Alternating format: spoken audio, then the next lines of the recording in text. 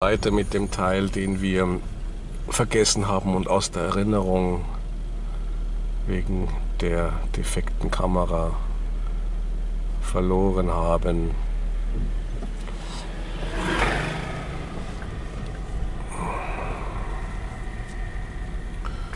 Wie geht's weiter also mit jener Tröstung, die sich ja logischerweise daraus ergibt, dass es nicht weiter ginge, wenn es dieses Vergessens, dieser Tröstung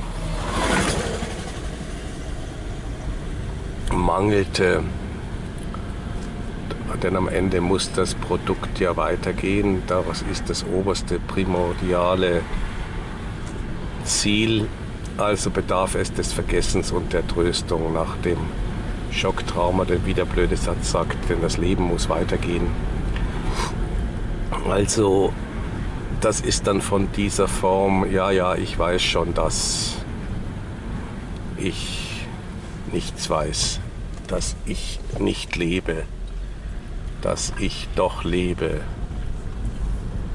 dass der Sinn des Seins nicht das ist, was ich da tue, oder dass er es doch ist, was ich da tue, und dass es keinen Sinn gibt oder dass es doch einen Sinn gibt, der eben darin besteht, in diesen Banalitäten und Oberflächlichkeiten, die nur an die Oberfläche gerückt sind, weil sie sich da besser verstecken können vor der Verwerfung, um die es nicht gehen kann, die überwunden werden muss.